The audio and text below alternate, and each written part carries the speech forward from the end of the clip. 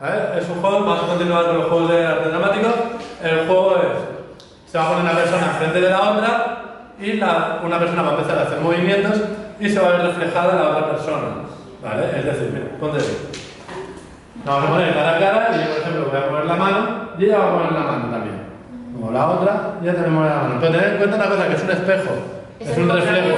Yo muevo la mano derecha y ella está moviendo la mano izquierda. No está moviendo la mano derecha también. ¿De acuerdo? Es un reflejo.